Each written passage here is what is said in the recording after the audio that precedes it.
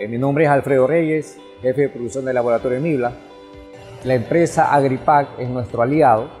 Utilizamos sus productos como Royal Caviar, Royal Paper, alimento balanceado como el M&M y principalmente la Artemia, que es un crustáceo que nos vende Agripac para poder alimentar a la larva de camarón.